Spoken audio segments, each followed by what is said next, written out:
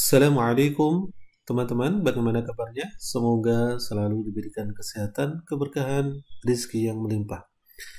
Oke teman-teman, eh, kali ini saya akan membuat tutorial bagaimana untuk menuliskan eh, format seperti ini. Jadi nanti kita hanya tuliskan angkanya saja. Contohnya seperti ini ya. Saya eh, random saja menuliskan angkanya.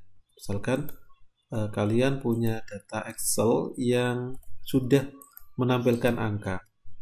Ya, seperti ini. Lalu kita akan berikan kata orang atau barang ataupun sesuatu uh, keterangan pada angka tersebut. Ya, cara simpelnya biasanya kita akan menuliskan seperti ini teman-teman ya. Lalu kita berikan keterangan misalkan orang seperti itu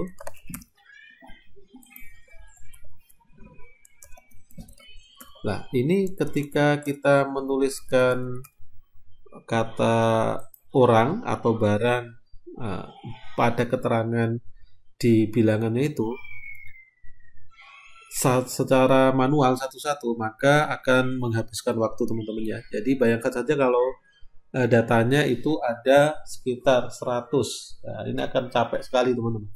Jadi nanti kita bisa setting basicnya yang nantinya kalian juga bisa menggunakan uh, basic ini untuk keperluan yang lain. Misalkan otom otomatis ketika menuliskan angkanya maka secara langsung dia akan mencantumkan keterangannya. Ya.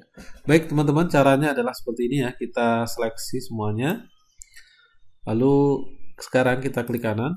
Lalu kita klik format cell dan kita pilih custom ya kita pilih yang di bagian ini teman-teman. Atau kalau kalian bisa nanti explore lagi yang lain juga bisa. Nah formatnya adalah kita berikan tanda petik dua di atas jangan lupa. Lalu nama keterangannya. Misalkan orang. Baik lalu kita berikan tanda petik lagi. Nah di sini sampelnya akan terlihat lalu oke. Okay. Nah, sekarang sudah secara otomatis ada keterangan. Ya, seperti itu.